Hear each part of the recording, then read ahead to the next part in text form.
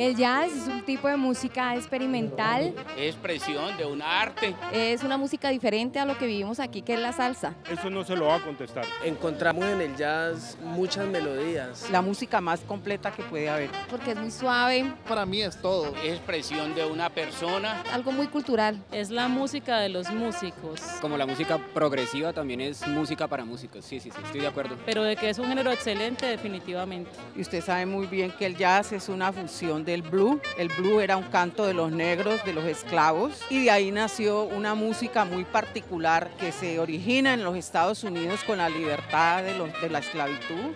Y es ahí el origen del jazz. Al que le guste la música, le tiene que gustar el jazz. Francesco Cafizo es eh, una de las figuras más relevantes en este momento del jazz en Italia. La verdad no lo conozco. Que lo haya visto o estudiado, no. Es una expectativa que tengo y a ver, a ver qué se viene. Vi uno, algunos videos de él. Sí, he escuchado de él, pero la verdad nunca lo, he, nunca lo he visto en vivo. Leí la biografía algo que tiene 23 años, que es muy joven, que estudió en New Orleans. ¿Cómo se llama?